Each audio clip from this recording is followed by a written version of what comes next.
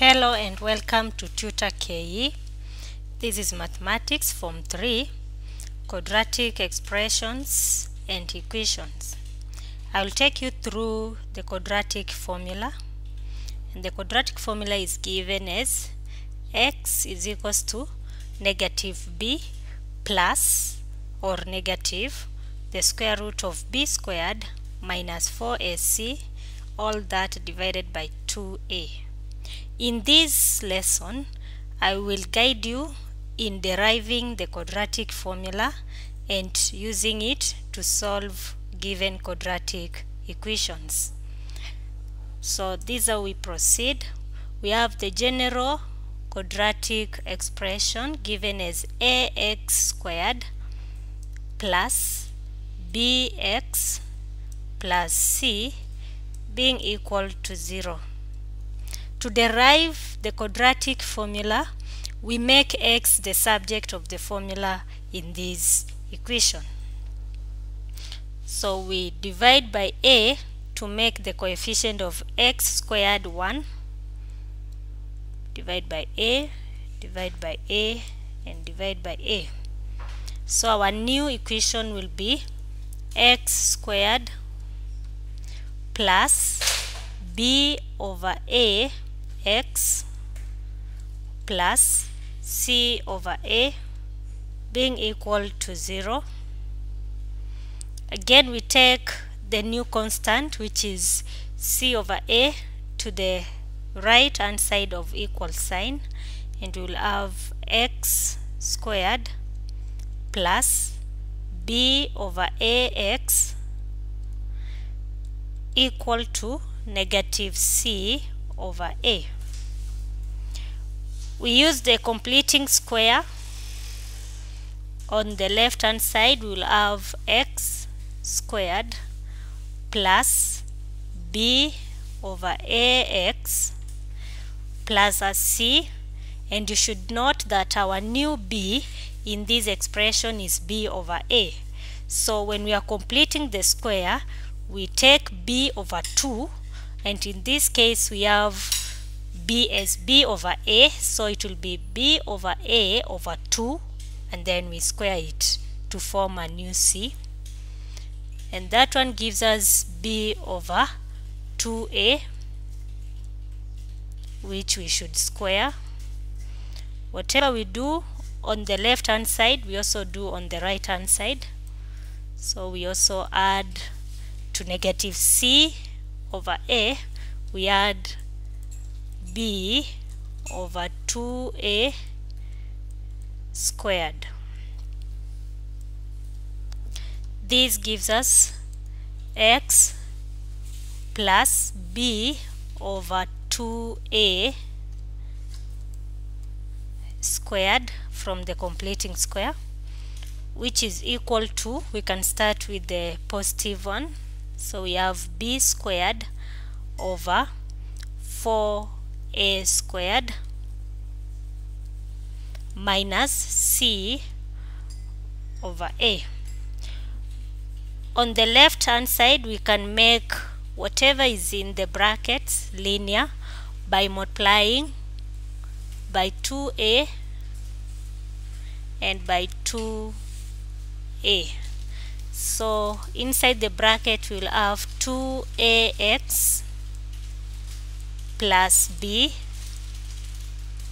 squared equal to also on the right hand side we'll make it linear by multiplying with the LCM which is 4a squared. So I multiply by 4a squared and by 4a squared by 4a squared by 4a squared by a by a. So we remain with b squared minus 4 1a then c. To find the value of x we have to find the square root on both sides. So the square root and the square root on this side you should also note that the square root should be positive or negative so this side will have 2ax plus b which is equal to positive or negative b squared minus 4ac under root sign. To make x the subject of the formula, we move b to the, right hand side of the equal sign. So we have 2ax being equal to negative b plus or negative the square root of b squared minus 4ac then we divide by 2a and by 2a to remain with x.